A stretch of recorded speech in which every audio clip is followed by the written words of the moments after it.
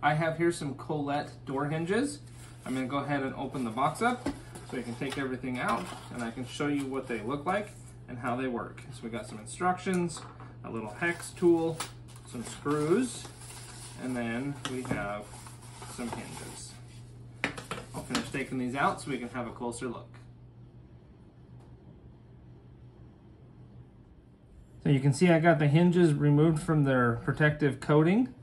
They are the rounded style, so make sure you're aware of that. They also are made of commercial grade stainless steel, so they're gonna be very nice looking for a long time. So another thing to keep in mind is these are actually all self-closing hinges.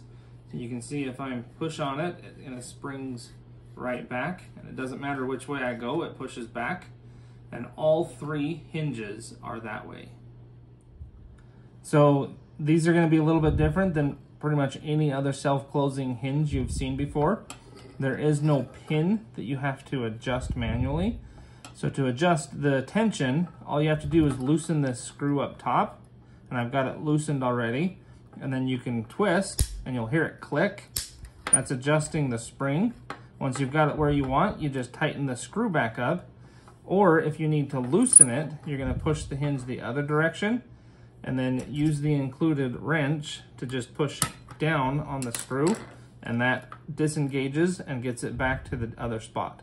Once you've got it where you want it, you just tighten up the screw just like that and then the hinge is where you want it. These KOLET self-closing door hinges are super nice. They're super easy to adjust. You don't have to worry about holding it in position while you fiddle with the pin which is really nice because it's always scary to be messing with those pins. Comes with all the screws you need, plus a wrench so you can adjust it easier. Just keep in mind that these are the rounded style, so you're getting the right ones. And I'd recommend these to anybody that wants to add a nice self-closing hinge to their existing door.